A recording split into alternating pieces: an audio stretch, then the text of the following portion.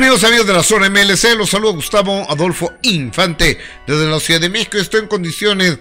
de confirmarles que Gloria Trevi empieza acciones legales en contra del cómico de YouTube Chumel Torres, que ha venido insistiendo que ella trata de blancas, trata de personas, que llevaba a las niñas a la prostitución y demás. Y bueno, finalmente hay un papel de la Suprema Corte de Justicia de la Nación donde dice Gloria Trevi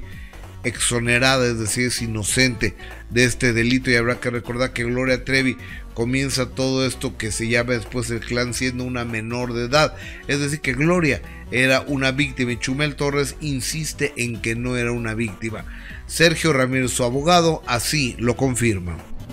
Haciendo ataques directos a su persona y manifestaciones donde aseveran y aseguran que ella es objeto de trata de personas, de trata de menores, que, bueno, aseveran un sinnúmero de cuestiones que el día de hoy, como tú bien lo dices, hay una sentencia que exonera completamente a Gloria Trevi de cualquier tipo de actividad ilícita.